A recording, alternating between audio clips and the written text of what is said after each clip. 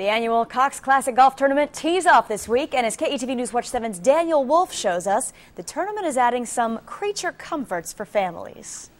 You know, follow a lot of groups around and, and see who's hot if we can figure it out. Watch the uh, scoreboards. Nearly every fan at the Cox Classic seems to have their own routine. Hey, follow somebody, just get in a group somewhere and just follow somebody and see how they're playing. We go to the same holes every year. Clyde and Anthony Just are a grandfather grandson duo who've made the golf tournament an annual tradition. Ever since he was old enough to learn to be quiet. Anthony knows exactly what's on the agenda when they arrive at the course. Get here, have a snack, go out to the holes, come back for lunch. But organizers hope to improve on some traditions this year. Groups of bleachers for the public are placed around several greens. Another change? The Golf Channel is not broadcasting any of the tournament.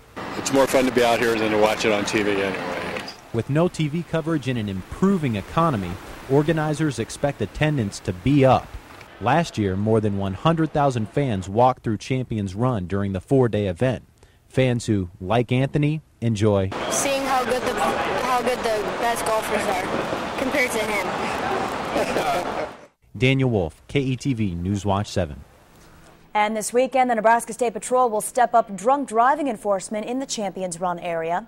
During last year's enforcement, troopers made 13 arrests and issued 10 citations for open